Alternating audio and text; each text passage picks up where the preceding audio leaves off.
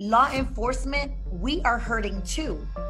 And I don't think that people understand that, that when this happened, that person hurt us because he took our badge and he dirtied it, he tarnished it.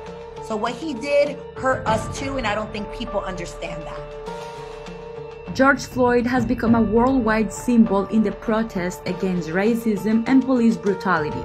Many people are angry with the police abuse of power, but some bad apples do not speak for all of the police officers. Today, we talk to Mirtha Ramos, the DeKalb County Police Chief, to clarify some points. Abolish the police, defund the police, both have been yelled by the protesters on the street, and both concepts are now part of the public opinion. But what do they mean, and what are the difference between them? Okay, so I don't know how they're referring to it, but abolish really means that you just want to do away with police. You don't want any law enforcement. And defunding means you want to have law enforcement, but you want to take some of the funding that's being provided to them and give it to other organizations. The problem with that is that if you don't have any police, who is going to protect the community? We're still going to have crime. Uh, so if you get away with police, you will have no police. Who do you call if someone is sick? Who do you call if someone breaks into your house? Who do you call if someone wants to fight with you, shoots you, stabs you? There'll be no one to show up if they don't, if they abolish the police. And also, what could be the consequences for defunding the police? Well, defunding the police um, is going to have lots of consequences. Most law enforcement agencies now don't have enough money now anyway. We don't have enough uh, law enforcement officers. We don't have enough money for training and things to make ourselves better. So if you're going to take away the money, that means there may be less police, less training. So how do we improve if we don't have the funding to do better and be better? I understand that people are frustrated. I understand that they want to come up with a solution. I don't think getting rid of the police or defunding the police is the answer.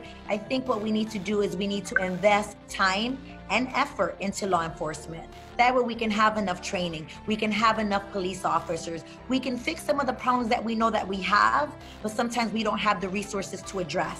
So rather than saying it's not working, I don't think that we should get rid of something that has been in existence for over 200 years. How do you feel as an officer who works for the community to keep us safe every day and seeing these horrific posters and names towards the police and attacking you like direct how, how do you personally feel about this well you know it is a little painful um, but we don't want to stay discouraged. I understand that people are angry, and rightfully so. They're upset about something that happens, and I know. But what I ask of the community is not to put all of the law enforcement officers into the same uh, into the same picture. Understand? I understand the frustration and we stand with you with the frustration. However, we are not all the same. Some of us are here simply to protect and serve. And so it's a little painful to be grouped into one. Uh, so I just tell the community not to lose faith in us, that we are here to protect and serve. And, and we understand you, we see you, we understand your pain. Um, many people disagree with the police way of operations. Um, what changes do you think it could be done or how could it be improved? Well, I definitely think we need to have a bigger focus on community interaction, community policing, simply meaning that we want to be more in the community. We want to be able to interact with the community one on one. The way that you get to use to people that are not like you, whether they're wearing a different uniform, whether they're black, whether they're white, the way that you learn about each other is by interacting together. Many, many times um, Hispanics in general feel afraid to call police because they feel that they can maybe be deported.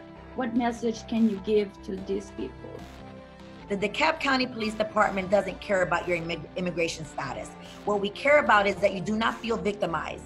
Because if someone commits a crime against you and you don't call the police, it's almost like you're being victimized twice because now we can't take care of you. We can't take care of the problem. So, yes. how do you feel about being part of a minority in this country, a Latina police force? Um, you know, I'm really honored because I'm kind of a three part minority. So, I'm a Black Hispanic female, which are all three minorities, And so I'm very proud of that. I'm very proud of being the first female police chief in DeKalb County. I'm proud, and I hope that with that, I can show the communities that we can come together and that we can do whatever we want. Anything is possible. So, whether I inspire a female, whether Hispanic or not, black or not, I just want us to stand together and know that we can do whatever we want to do if we just put forth the effort.